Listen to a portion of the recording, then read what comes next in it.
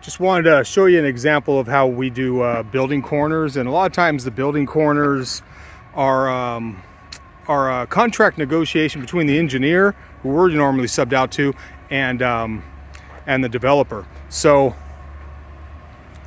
we normally do five foot off building envelope. And I normally, you normally grade in the back grade one stake in the back on I usually do on the garage side so it's kind of consistent. And the building envelope if you're unfamiliar what that looks like uh, give you an example. So I'm one man in it today. And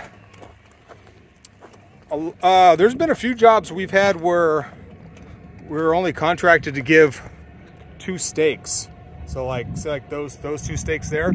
So it'd be up to the guys who uh, trench it to uh, square everything up. Uh, and if there's any problem with that, then the contract needs to be uh, re renegotiated. But uh, normally we do give four stakes. And let me show you what the building envelope looks like.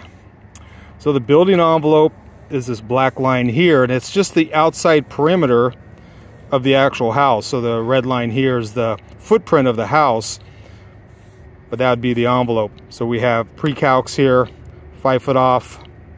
It's the building envelope.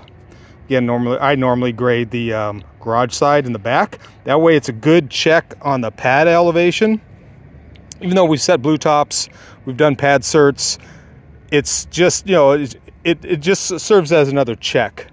And, um, you know, so like if your finished floor elevation is uh, nine inches above um, uh, pad grade, then, you know, you should have fills of, you know, 710s, 7500s, stuff like that. So it's just a good double check.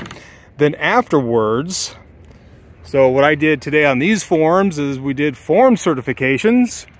And if you're unfamiliar with that, so out here in California, since lots are so small, you know, you may have a five foot side yard here, maybe you have a 10 foot side yard here, you have a 20 foot setback there, and then whatever the backyard is. So we shoot the um, outermost building line as, a, as our form certs. So we check them vertically and then horizontally.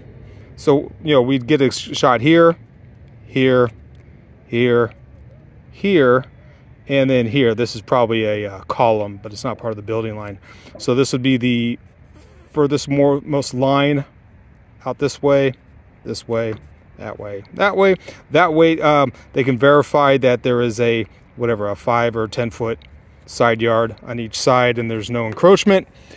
And as long as our calcs are good and they go off our nails, everything's normally pretty darn good. So, um, yeah, that kind of takes you through um, how we how we stake building envelopes. So we don't actually do the corner; we just go outside. And there's sometimes where, you know, we will give them five foot offsets on the line like that. But again, that's normally a contract negotiation.